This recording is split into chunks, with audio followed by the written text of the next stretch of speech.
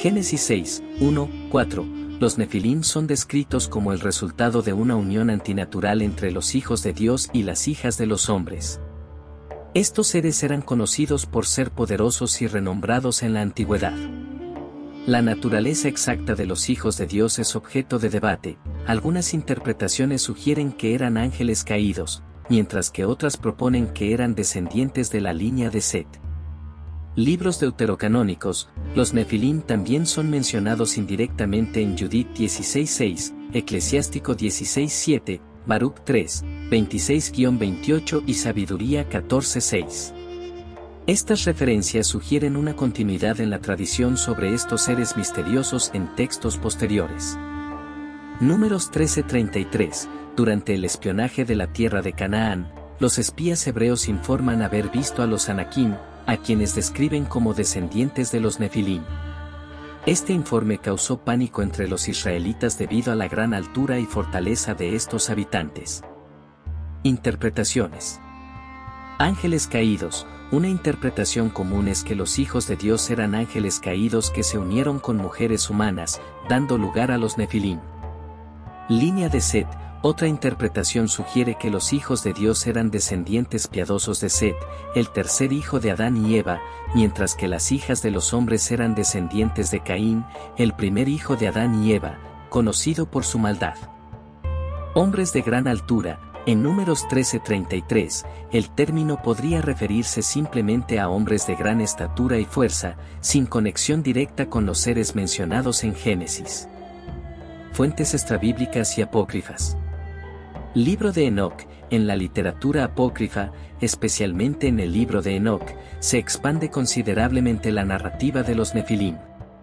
El libro de Enoch describe cómo los vigilantes, ángeles caídos, descendieron a la tierra y tomaron esposas humanas, engendrando una raza de gigantes y malvados. Este texto influyó significativamente en las tradiciones judías y cristianas tempranas sobre los nefilim. El libro de los jubileos, otro texto apócrifo que menciona a los nefilim es el libro de los jubileos. Este libro reitera la idea de que los nefilim eran producto de la unión entre los ángeles caídos y las mujeres humanas y destaca su destrucción debido a su maldad. Interpretaciones y perspectivas modernas. Perspectiva literaria. Algunos estudiosos modernos interpretan los relatos de los nefilim como mitos etiológicos que intentan explicar la existencia de una raza de gigantes en la antigüedad. Estos relatos podrían haberse basado en memorias culturales de pueblos antiguos que los israelitas encontraron. Perspectiva histórica, otros estudiosos sugieren que los relatos de los nefilim podrían reflejar recuerdos distorsionados de pueblos antiguos que eran notablemente más altos o más poderosos que los israelitas. Interpretaciones en la teología judía y cristiana. Judaísmo, en el judaísmo, la interpretación de los nefilim ha variado. Algunos rabinos antiguos y medievales, como Razi, interpretaron a los hijos de Dios como nobles o jueces humanos, mientras que otros, como el Targum Pseudo Jonathan, los identificaron con ángeles caídos.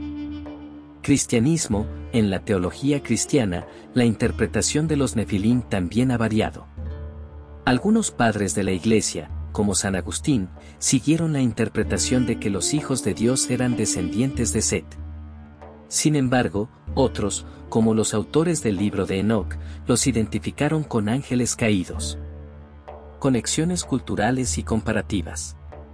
Mitología mesopotámica, existen similitudes entre los relatos de los Nefilim y las figuras de gigantes y héroes en la mitología mesopotámica, como los Apkayu, seres semidivinos asociados con la sabiduría y la protección gigantes en otras culturas, la idea de una raza de gigantes también aparece en muchas otras culturas antiguas, como los titanes en la mitología griega, los Jotun en la mitología nórdica, y los gigantes en las leyendas celtas.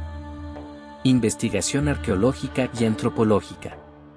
Aunque no hay evidencia arqueológica directa de la existencia de los Nefilim, algunos investigadores han sugerido que los relatos de gigantes en la Biblia y otras literaturas podrían estar basados en hallazgos de esqueletos humanos inusualmente grandes o en recuerdos colectivos de poblaciones que eran significativamente más altas que otras.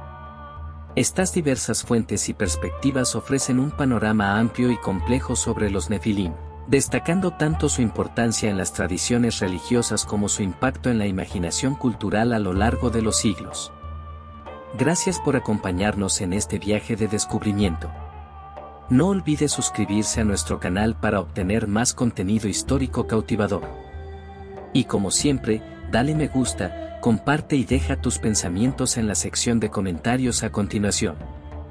Hasta la próxima, mantente curioso, mantente inspirado y sigue explorando las verdades ocultas de nuestro mundo.